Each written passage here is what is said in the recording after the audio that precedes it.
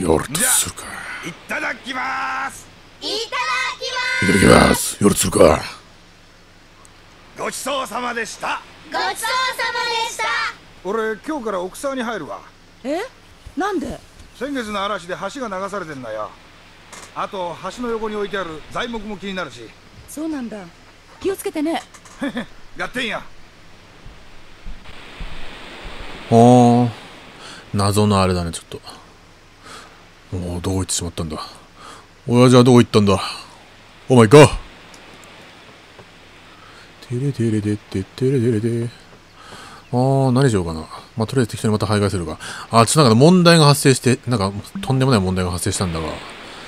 なんかあの海。なんか海に入ろうとするとなんかあれなんだよね。画面が土地狂ってんだよな。でなんかどうしようかと考えた結果、とりあえず、あー海だけちょっと一旦スキップしようかなと思って、で、まあその、なんかこの問題が解決したら、まあ海だけちょっとなんつうの、まあ別、別枠でやるのもありかなと思ったけど、謎なんだよね、ちょっとなんかね。もうとんでもないことになってしまうから、ちょっとまあ。で、一回なんか前やったのは、まあちょっと、泳い、まあなんか泳いで溺れてみたいな。まあなんか泳いだらなんか海がなんか広がってみたいな感じなんだが。まあそんな感じだったか、みたいな感じだけど。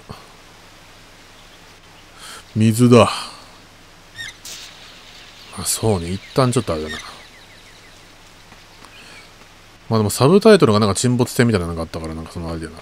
あれこれそうだよね。確かなんか。だ何らかのそのなんつうの。沈没船やらなんかイベントがあるのかもしれんが。誰もいない。ああ、なんて可愛いんだ。もうすごいまっさらな、まっさらな笑顔だぞ。てれてれてっててれてれてまあとりあえずは普通に、この地上を剥がしていくかじゃ今日は。この、この夏休みは。誰もいないんだけど。誰もいないぞ。この見事に誰、お、おー、ちょっと行ってみるか。ねえ占ってくれ。私がどこに行けばいいのか。はいじゃものがいっぱいあるぞ。2番。あー、診療所の中取り抜いていくか。診療所の中。診療所の中で OK。はい。昼間の会が何かあったっけ？夜の民宿。夜の民宿2回か。なんかあったかあれも。じゃあわかった。ちょっとあの、行ってみるか。あの、そこだな。まず診療所だな。まずは診療所だ。で、問題、問題は私はこの公園からどっか、どうやって出ればいいのかっていう、その、その問題が発生するんだけど、なんかもう一生あれなんだよね。ぐるぐる回ってんだよね。ぐるぐるぐるぐるブルファンゴ。ぐるぐるぐるぐるブルファンゴ。一生チリがあるだから。一生チリがなんつうの把握できないからね。ここだ。なんかじゃあ自然とかさ、なんか奥奥なんちゃらかんちゃらっておるわ。じゃあなんかお姉ちゃんとかちょっと話しかけたいけどあれだな。いろんな人に話しかけたいけど、そうもいかんか。時間がないかもしんないからな。木工瀬山。木工瀬山すごいでかいな。で、裏から行くと。まあちょっとなんか話聞いてくのはいいか。チラッと。まあせっかく来てるからな。あれ？え、なんでこの誰もいないの？誰もいなすぎじゃねえか？え、そう、なんかやってやってんのかな他の。あ？他の部屋にいんのか？もしや、君たち、あ、あ、てか休みか。あ、日曜日もしかして。あれ今日日曜日？その可能性が出てきたぞ。その可能性が浮上している。中でも誰もいないのか。さあ、どっちだ？その裏から行くっていうのはこっちか？こっちもあっちか？やってるね。やってるね。君たちは。慣れてる後ろからドカーンと突きと突き落としてから。うん。ないね。落ちたロケットを探してるんだけどなかなか見つからないよ。ないね。落ちたロケットからバルブを取り出してヨ兄ちゃんに渡そうと思ってるんだけど。いずれあんのかな？そのイベントっつあー、てれてれてってって。あー。こにもどう猛のあれだからな。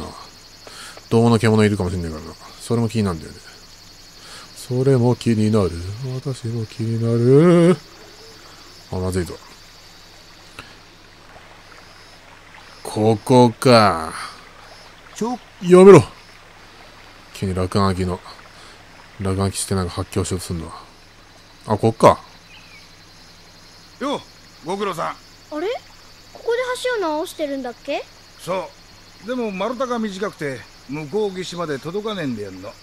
そうなんだ。ねえこの向こうには何があるの？えまあここより少し森が深くなって。うんうん。その向こうは狼じじいだ。なんだそれ？生きていか？もちろん。しょうがねえなじゃあちょっくらスペシャルな橋の架け方でも披露しちゃおうかね。スペシャルな橋の架け方？そう僕ちゃん明日になったら渡れるようにしといてやっからそれまで首を洗って待ってな。首を洗って待ってなってなんか。首を長くしてじゃないの？ねこも言わないの。あんま聞いたことないな、首を洗って待ってない。だからスターフォックスぐらいしか聞いたことないぞ。うーん。この川幅を越えなくちゃなんねえからへえ。それ楽しみだね。じゃあついに新しいとこ行けるの、行けるようになるのか。それは楽しみだぞ。てれてれてって。それなんか新しい住人来たよね、そういえばな。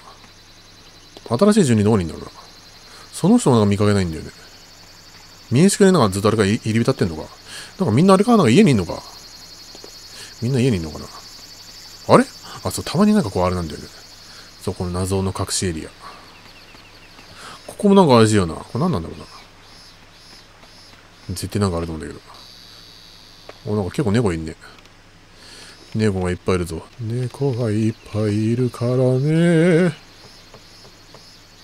風呂入れないな。なんか日中に風呂ってのもなんかあれだね。逆に良さそうやな。な気分爽快なあれなんじゃよ。気分爽快だね。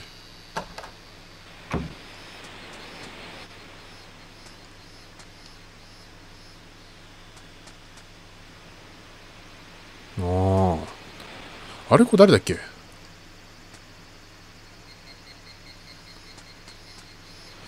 りてりてっててサイモンとかもいないよな。てかなんか人がなんかいねえんだよな。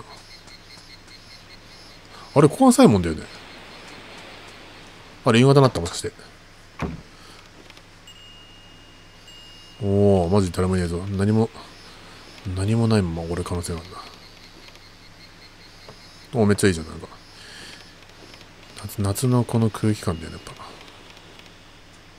夏の、夏っていいよな、やっぱな。なんで夏、なんか夏になんかノスタルジー感じんだよね。ティリティリティティ。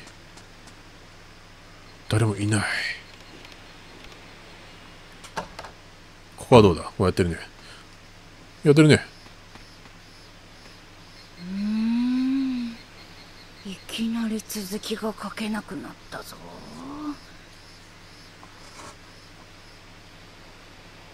鉛筆の芯が出てないっていう話じゃないよ鉛筆ああ。まああるよね、そういう流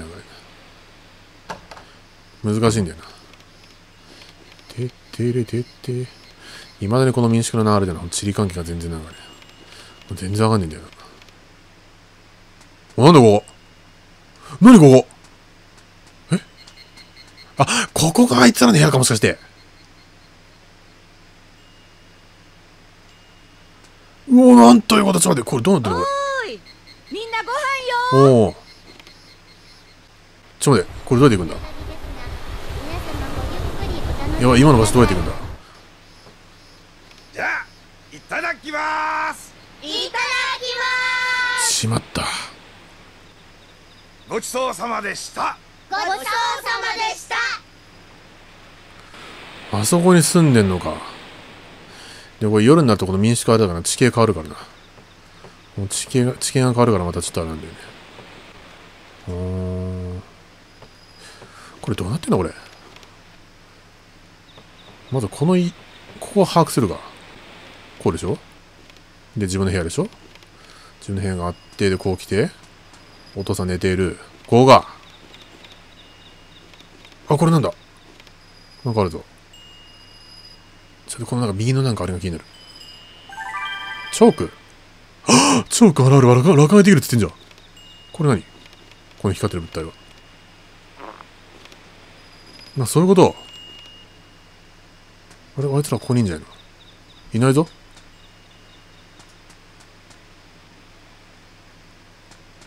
なんでいないんだ？誰も読んでないのずぶなんか散らかってんのここな。へえ、これは？これがこうで、で、こっち行って、こういうあれがあって、窓からなんか、あれなんできないの？か。あー。あれ、夜になんか、この、この、多分この部屋だと思うんだけど、く来るとなんかあるみたいな。でもなんか遅いか、遅いっつうか。誰だ？親父が？あれ？親父だ。今日なんか人がなんか、圧倒的にいないんだけど。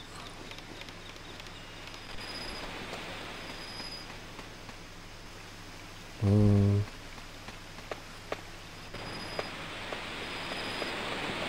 逆になんか珍しいな、こんなになんつうの。こんなに人に遭遇しないというか。さすがに泳げないのが夜、まあ夜危険だからな。え、また公園とかで誰かいないのかな？やったお？お連打しながらなんか行くもんだな。何かしら落ちてる場合があるのか。怖いね、やっぱな。夜の3つの怖いね、なかなか。お、来たぞ、この、恐ろしい。なかなか、いい空気感があるじゃないか。今日は誰もいないのか。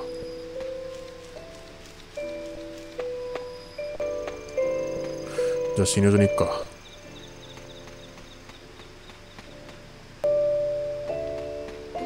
みんな遊んだのかなあれ、お姉ちゃんもいねえんじゃないの？え？なんでこんな誰もいねえの？も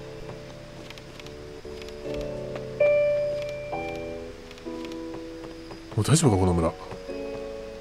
人さらいとかそういう、人さらいとか流行ってんじゃないの？あ、今誰がいた？違うか。もう危険なあれだな。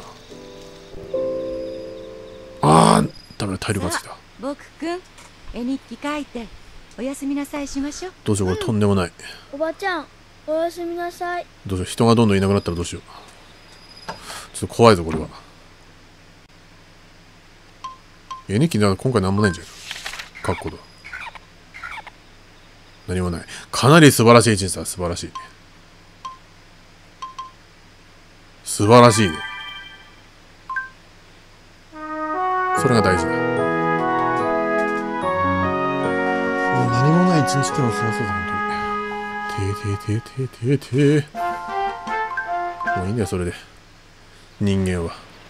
今日診療所を通り抜けて向こう側あ奥沢への橋をもう渡れるようにしておくからみんなで見に来てくれよな。え？どうやって橋を架けるの？材木の長さ足りないって言ってたのに。まあまあまあ細かい詮索はなし。なあし。あれ？なんか不穏な匂いがしますわ。よし。じゃあ今日はみんなで奥沢探検だ。あれ？僕ちゃんは？ああ真似すんなよな。まあまあ。じゃあ新しくできる橋のところに朝飯食ったら集合ね忘れんなよあじゃあいただきますいただきまごちそうさまでしたすごちそうさまでしたわあ、楽しみだね。やっとなんかあれか、新しいとこ来たわ。これなんか風呂場から行けるっつったよな。風呂場の謎なんつうの。どっから行くんだ？上か？あれ？あの二人がいるぞ。またなんかあれじゃん。なんか宿題みたいななんか出してくんじゃねえか。一応聞いてみるか。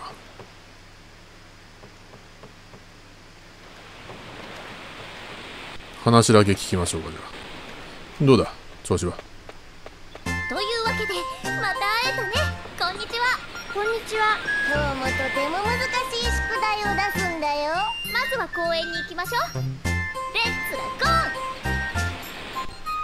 度の宿題は題して公園の中に隠れた恐竜たちを探し出せ今から私たちがこの公園の中に7個の恐竜王冠を隠すから明日の夕方までになるべくたくさん見つけてきてね。私と過去のお気に入りがそれぞれ一つずつ混じってるの。それをあなたが見つけた方が勝ち。勝ったらご褒美をあげるからね。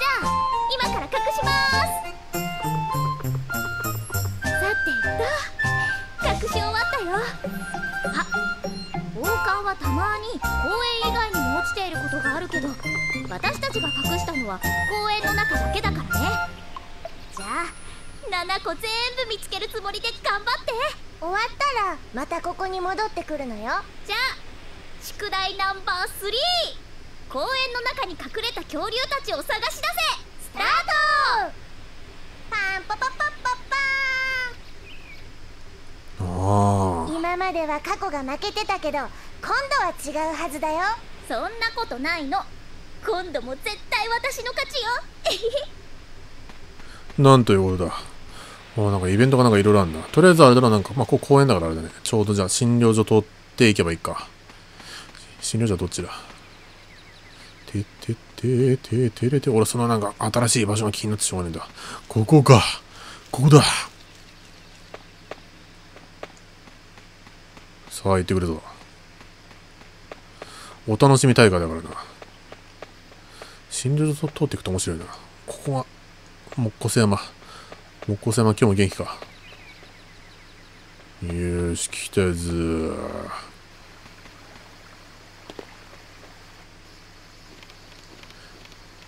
お？今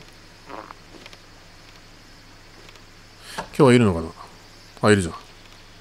先生ったら最近ひどくお疲れみたいです。どうしたのかな？夏バテでしょうか？おでやばいぞそれは。健康にはちゃんと気を配ってらっしゃる方だからもしかしたら何か悩みでも？悩みか。ねえこの診療所ってお客さん少なそうだね。こらこらここは診療所じゃ。お客さんとは呼ばんのじゃよ。うん許せ。俺にはちょっとややることがあるんだ。てってれてってって。さあ行くぞ。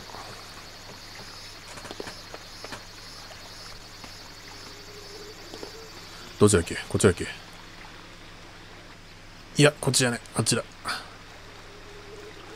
ここだ。この謎の。あチョークで落書きってたよな。やばいぞ。やばいやばい。僕はちょっとだけ落書きしてみた。やばいやっちまった。やばすぎだろ。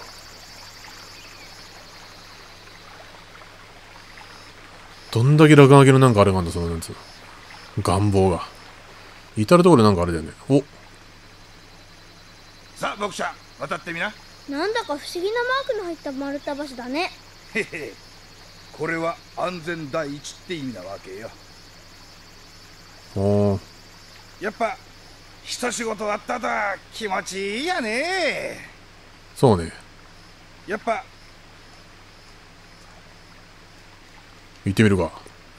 おおここ新しいエリア来たぞ。おお俺一番乗り。僕が2番だもんね。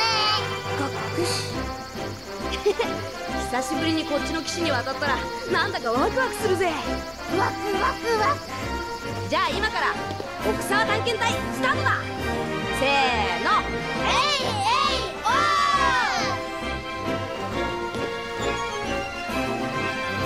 えいおいいじゃないか。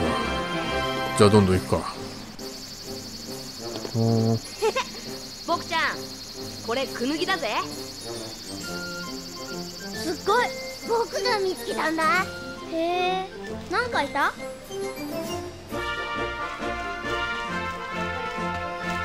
おどんどん置いてかれてんね。あれ？オーマイガーなんだここは。その大自然が広がってるぞ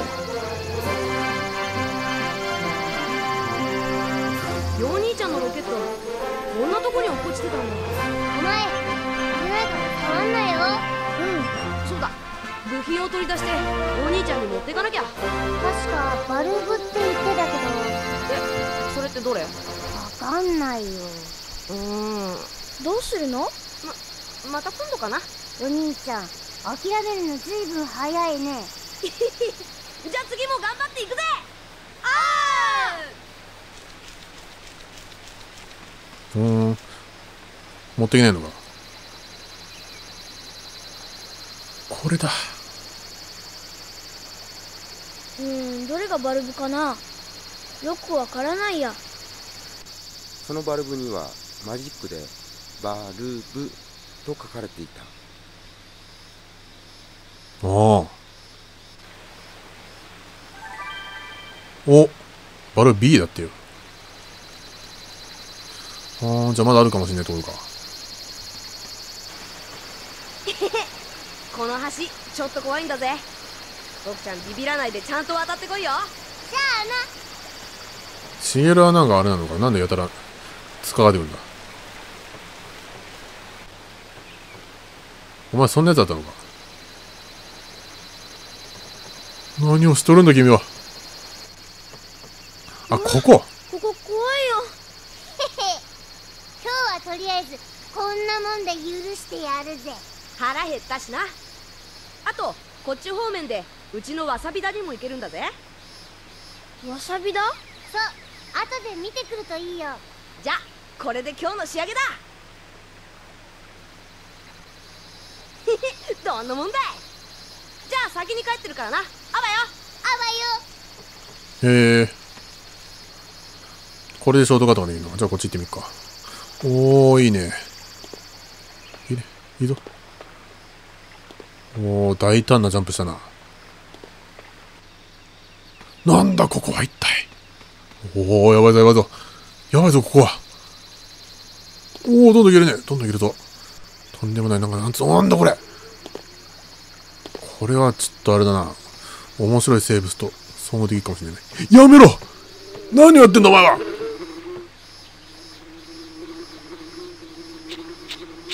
あら。らら何をやってるんだ。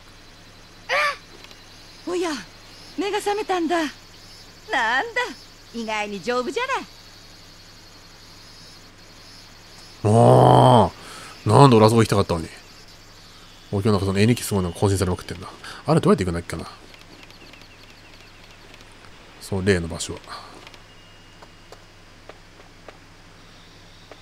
上か下か上か下かっていうちょっと問題点があるな。こっちか。あじゃあそのバルブ持っていけばいいのか。バルブ持ってこっちはなんかあれだな。診療所の方だよな。てててて戻ってきたぞ。こっち何？あ、こっちもいけんじゃん。おー、なんか、なんだここは一体？なんだここは一体？お、セント大変いるぞ、なんか。お、すごいな、なんか。おやばいやばいやばいやばいやばい。すごい大量だ。お、セミじゃん。セミもいるのか。セミ？セミ、セミ？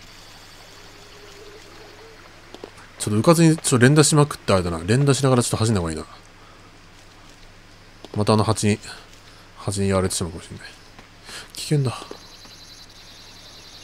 あー、なんかありそうだね。お？何やってん？何やってん？何やってん？何やってん？僕はちょっとだけ落書きやめろ、お前は何を考えてるんだ、一体。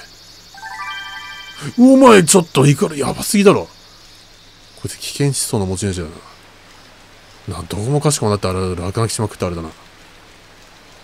チョークなんて持たせるんじゃなかったね。やっぱやっぱ子供にスマホを持たせるなって言ってるのと同じようなもんか。いや、持たしちゃいけないもんがあんだな。危険だぞ、本当に。これ、どこれどうやって言うんだっけ？あー。まあいいや。もう諦めてくれ。俺には方向感覚なんてものは存在しないから。そんなものは存在しないんだ。ここか。さあ、そこ、危険だぞ。普通に行くと。おー、なかなか面白いとこ来てんね。すげえ飛んでんな。お？やめろなんてこった。あ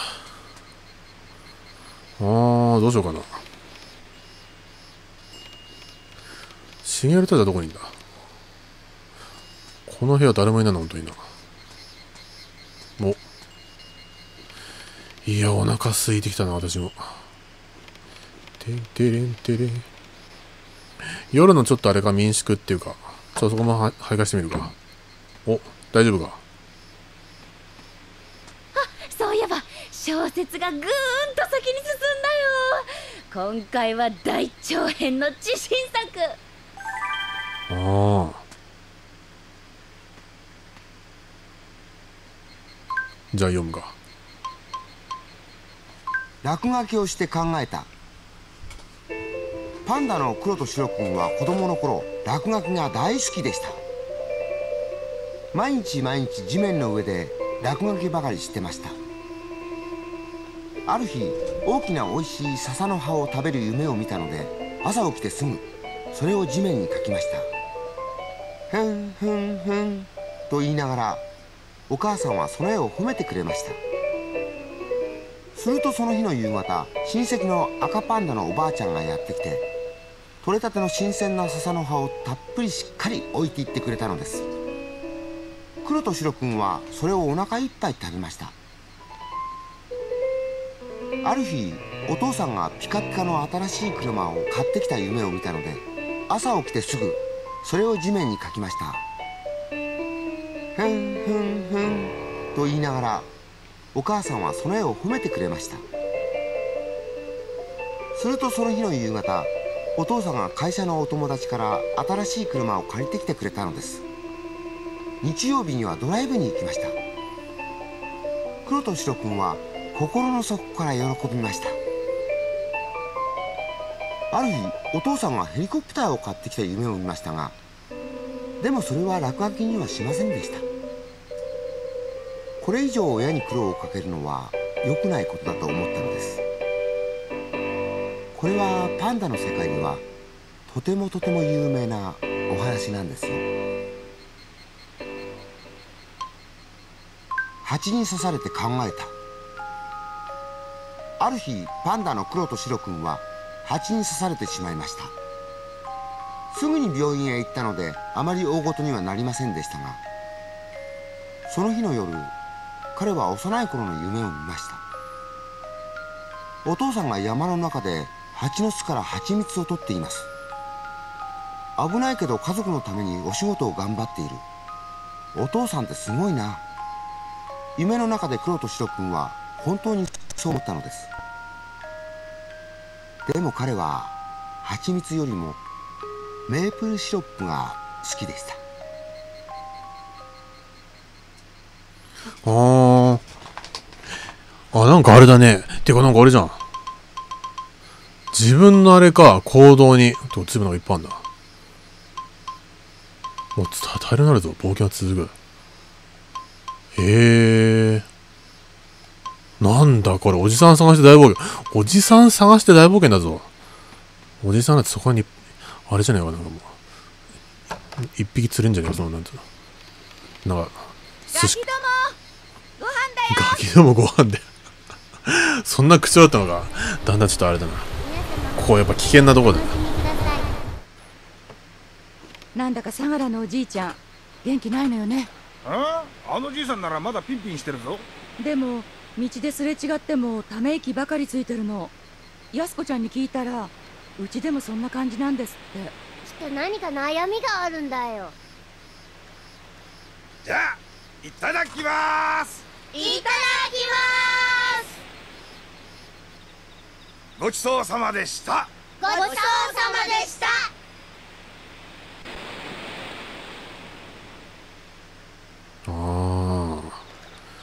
ちょっと話聞いてみ見てもいいんじゃねえか。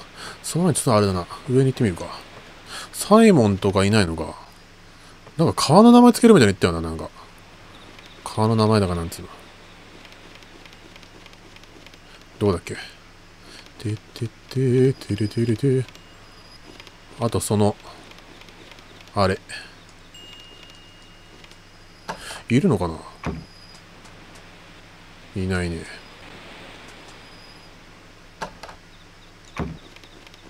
こはどうだ？あいるじゃん。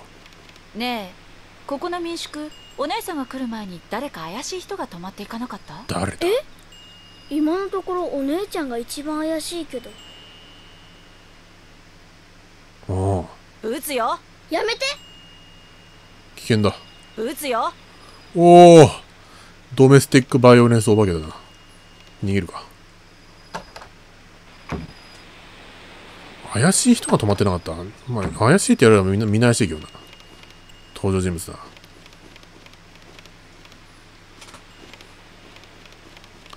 ああどうなってんだろうね。あ部屋はどうだ？誰もいないのかな？一応見てみるか。これいないんだよね。テレレレレテテレレレレ。じゃあ診療所かなその。そっちを見てみるか。間に合うかな。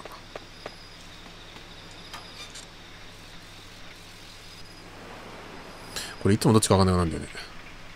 こっちだっけ？こっちじゃないかもしれない。上か上の可能性があるな。こっちだ。多分お危なかったね。間違えるとこだって。おなんだ談笑してんな君たち。割となんか部屋にいないのか。奥沢の探検なかなか面白かっただろまあ都会っ子にはちょっと大変だったかもしれないけどね。なんでしげる最近なんかあれなの？おいなんだお前？どうでもいいけどあの辺りってすごいたくさんセミがいたな。ああ。なんで君は俺にそんな絡んでくるんだね？まったく俺のが、ま、割と普通だったよね最初の時の。最初っつうかなんつうの。なんか割と仲が良かったイメージなんだけど。ああお前が。ああああ行かないといけない。おじさまも大事だけど。もう大丈夫だ。大丈夫か。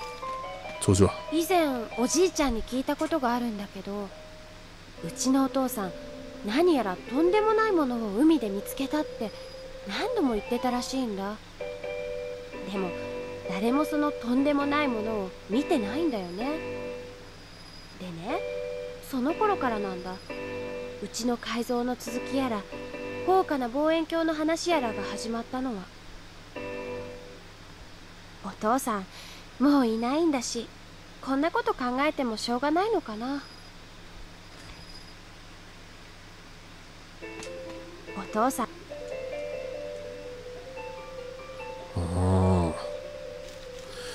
悩ましいね。やっぱなんかみんないろいろあれだな。みんないろいろ苦労してんだな。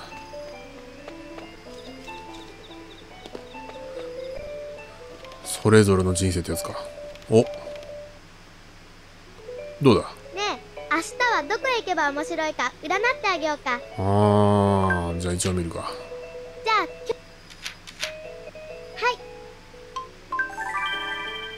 ああそうだねそうだそうだ。バルブか。2階の1号室。うーん。はい。じゃあまた。オッケーオッケー。大丈夫かい？うん。なんだか最近死んだ家内の夢ばかり見る寝不足なのの？いやむしろぐっすりと眠れるのじゃが目覚めた後が悲しいのじうんそれは悲しいだろうな。ゃわしゃ医者じゃ。死んだ家内や息子がもう戻ってこないことは十分に理解しておるのじゃが。あわしゃ医者。結構あれだね。息子と家内っつうのはなかなかついんじゃいのか。何も起こせんも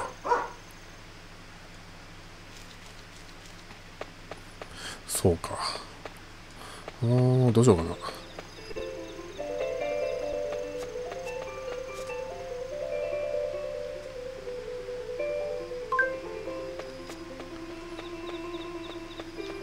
っちは何もないと。うんじゃあ帰るかじゃあ。とりあえず。すみなさい。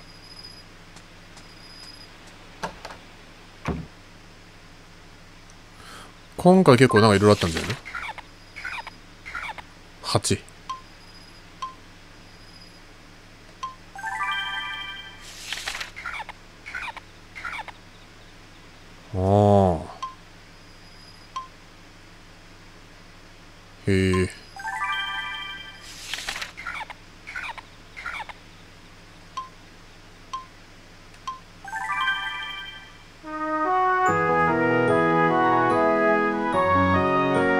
しや奥あれか。